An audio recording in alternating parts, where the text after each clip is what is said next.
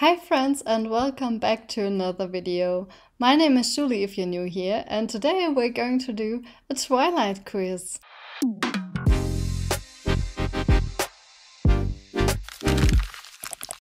So I actually just did another quiz, which was the Shadow and Bone one. And then I saw that they also had a Twilight quiz on the same website that I just did the Shadow and Bone quiz on. And I just knew immediately I had to do it because I have this weird obsession with Twilight. Not really an obsession, but I did have one when I was younger. It was really the first paranormal romance series I read and also one of the first fantasy series. It's still one of my favorite fantasy series of all time.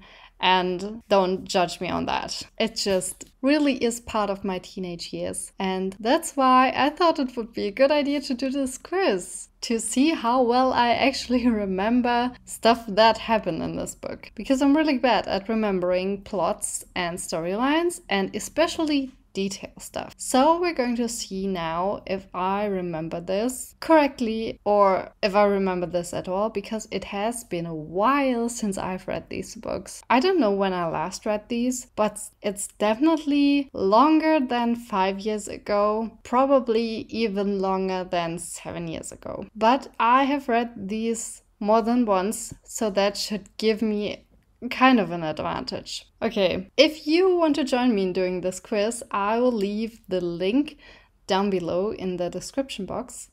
But you can also just do the quiz with me now and then check the score later. I will check if I have the answers correctly and go through the answers with you together so we can check together which ones were correct or not.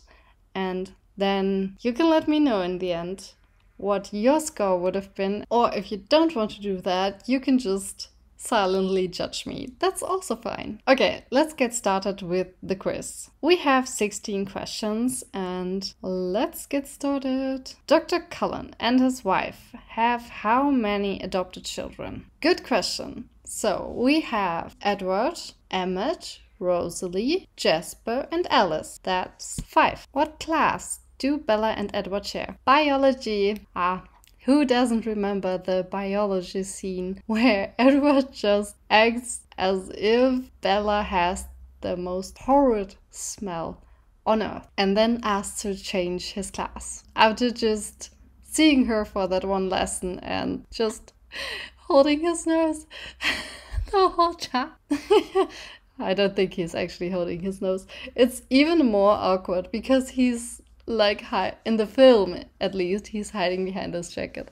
That is so funny. Okay so yeah they are sharing biology. In an email to her mother bella assures her all is fine and she's reading which classic for english class? Oh that's an interesting one I think she's reading Wuthering Heights. Definitely not Lord of the Flies or The Great Gatsby is either Wuthering Heights or Jane Eyre. I think it's Wuthering Heights. In Bella's dreams about Edward, he is always saving her life out of reach, black eyed with the wolf. I think he is out of reach.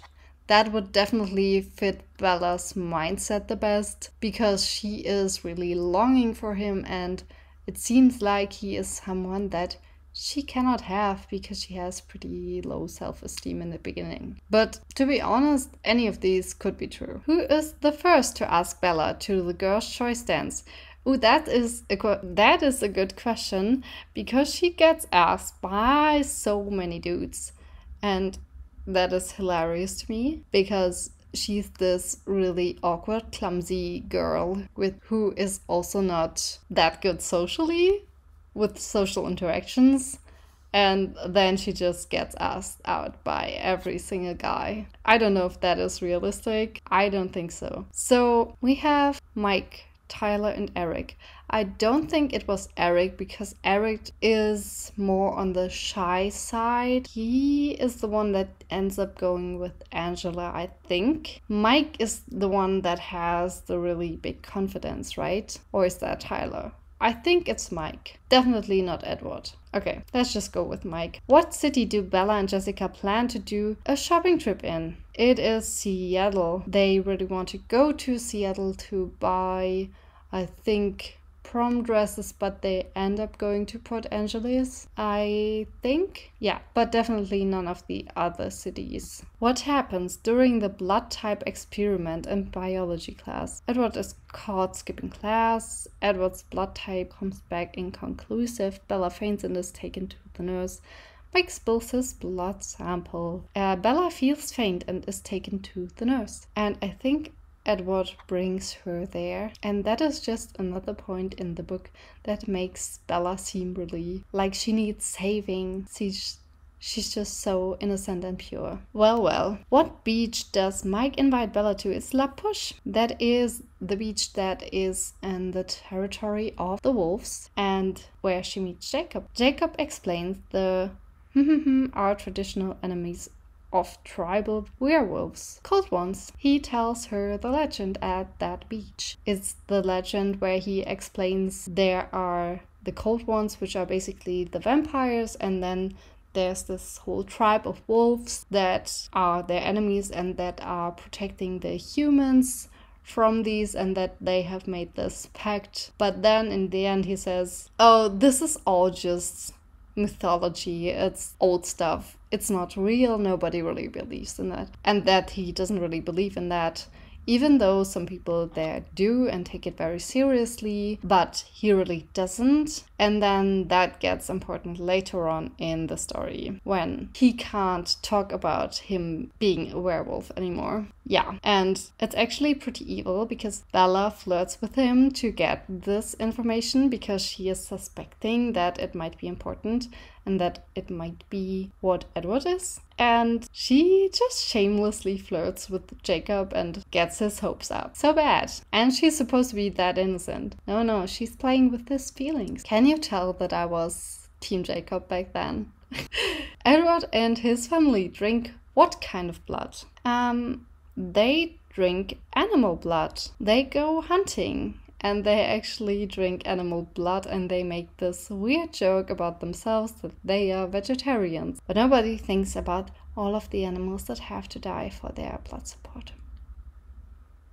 Okay, it's, it's fictional. And I have to admit, I like that better than them just mindlessly killing humans. But yeah, donated human blood. I think a lot of vampire shows have this as a trope that the vampires aren't actually drinking like fresh blood from humans, but they are drinking donated blood. I think that happens in the Vampire Diaries a lot.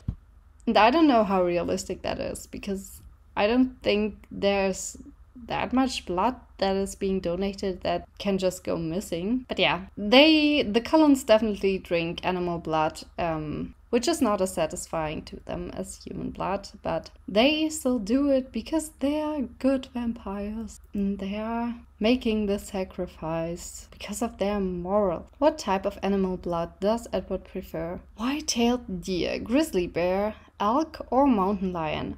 So there's this thing where in the Twilight series they say that the type of blood they drink is the animal that most resembles themselves. And for Edward, that is the mountain lion. And the grizzly bear is for Emmett. I don't think, I don't know if the other two are really anyone's favorite.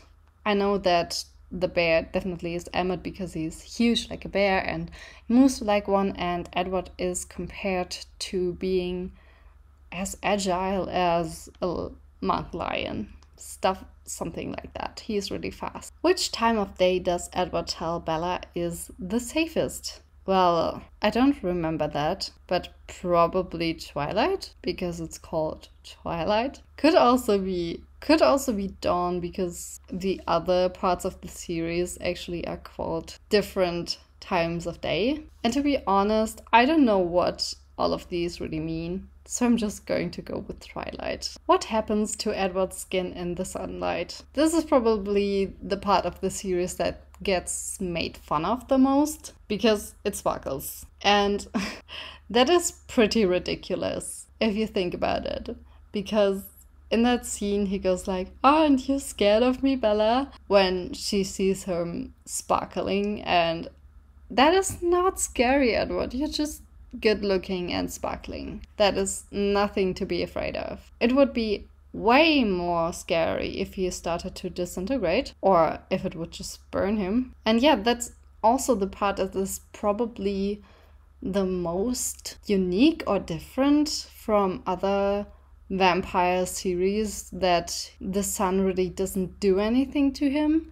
And it's pretty convenient, you have to say that, because he can just lead a pretty normal life. Apart from, yeah, he can't really go into direct sunlight because he will sparkle, but it won't kill him. So it's not as bad. Even if somebody were to see it, it wouldn't mean that he is the one that has to die. The other person could also, you know, disappear. Anyway, yeah, that that is a weird part of the book. But also just so cheesy that it really fits the paranormal romance genre. What year did Carlisle transform Edward? That is a good question. Because when does Twilight take place? What year is Twilight set in?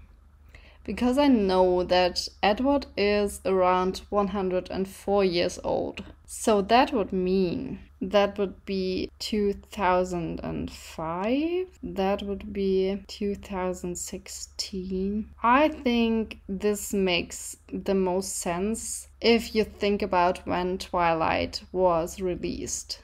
I think then it's probably 1912 because it is definitely set around the time when Twilight was released. That is, I think, the time that the book is also set in. So let's go for that. Bella proposes a plan to escape to Phoenix when she is told James is what kind of vampire? A tracker.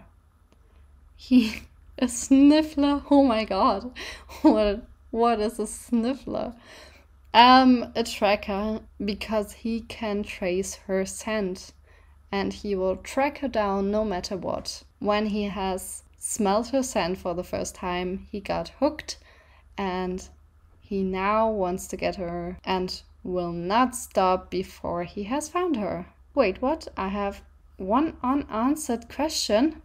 How did that happen? Let's go back. Which one? Wait, I have answered all of these. Which one? It? Oh, the second one. What gift does Charlie give Bella upon her arrival in Forks? An old truck. He gives her a really old truck that Jacob's father and Jacob bring to her house, and she falls in love with it immediately, even though it is really old and not a really shiny new car or anything.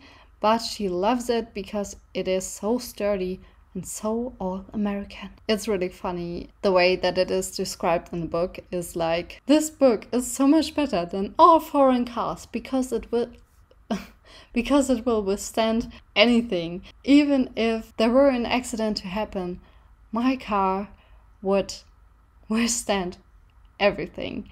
And that's just I I don't know. I thought that was really funny. Okay. Let's submit this quiz now. Ready to see how you did?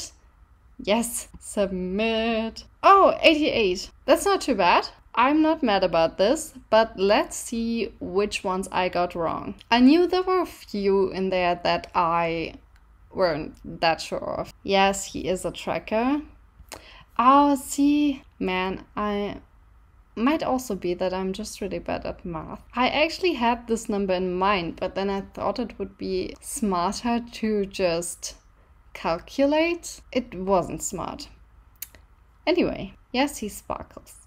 Oh, it was Twilight. Ha! Yeah, okay, it's the title of the series. I know that's not a great achievement here, but anyway. Mountain Lion, Animal Blood, The Cold Ones, yes, La Push. Bella feels faint and is taken to the nurse. Seattle, also correct. Oh, it was Eric! Oh no, Oh, then that is the scene where he gets told that he should ask out Angela. I didn't think it was the first one because it was so shy, but apparently not. Good to know. Out of Reach was correct. Ha! Even Wuthering Heights was correct. Biology and Five Children, the old truck, and that was it. I only got two questions wrong, right? That's good. I'm weirdly proud of that. I don't know if I should be. And as I have talked about this, I realized that I know way too much about these books and the series. But anyway, that was interesting. I hope you enjoyed it as well. Thank you so much for watching, and I will see you in my next video. Bye!